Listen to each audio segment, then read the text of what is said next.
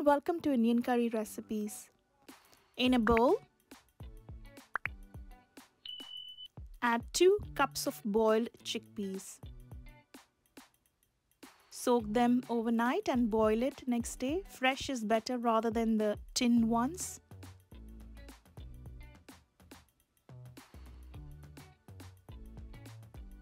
Add 1 tablespoon chopped cucumber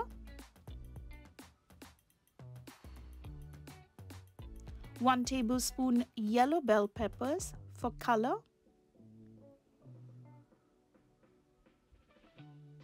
1 tablespoon chopped onion. Any onion will do. 1 tablespoon chopped tomato.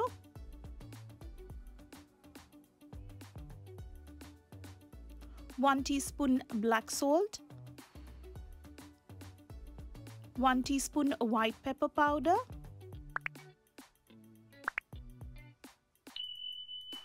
1 teaspoon roasted cumin powder. Few chopped green chilies. Finely chopped. This is optional. 1 teaspoon red chili powder roasted or paprika powder. Whichever you prefer. Few chopped coriander leaves or you can use parsley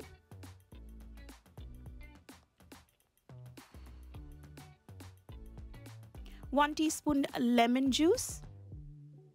Fresh lemon juice. Or you can use lime. Now give this all a good mix. All the ingredients should mix well. So instead of the white salt I've used black salt but you can use the white salt as well.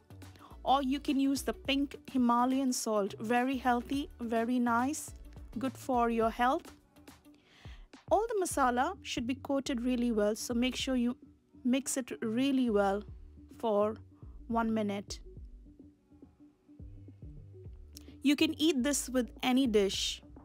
This is high in protein and very healthy. Just add some yogurt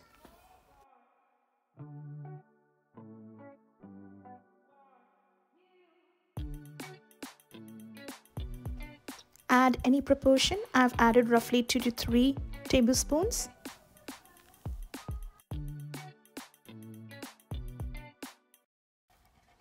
Thank you so much for watching.